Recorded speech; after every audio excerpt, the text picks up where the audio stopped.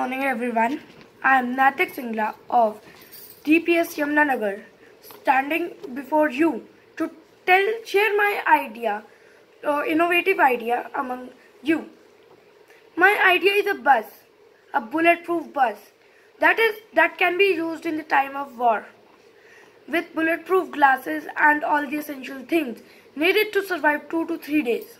I am making this because of the Russia and Ukraine conflict. It's very difficult to rescue people from the country and for this purpose only I am making this bus. And uh, which is which can be ideal for rescuing people and making them shift from one country to another. A bulletproof car or a bus is a civilian vehicle that are reinforced with layers of armor plating the bulletproof glass as well as additional features and mechanisms that protects the people inside the car. Only using this technology, I have to make a huge vehicle which is having a capacity of 50 to 60 passengers and it would be having a speed of 100 km per hour because it would be a heavy vehicle so more than the speed more than the 100 kilometer will not be possible and if I make it more than 100 km per hour.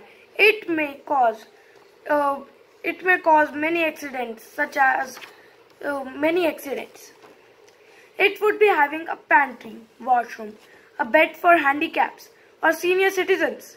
And it would also be having an extra driver and some oxygen cylinders which may be useful in time of the any any critical situation for making the bus bulletproof, we need the materials which are thin and can fit in the glass of bus and make them bulletproof. There are some of the materials which are thin and can fit in the windows such as Armormax, fabric consisting of ballistic nylon, steel, polymer, armored glass, etc. We can also identify whether the car is bulletproof or not as in bulletproofing the vehicle, glass is referred to as transparent armor.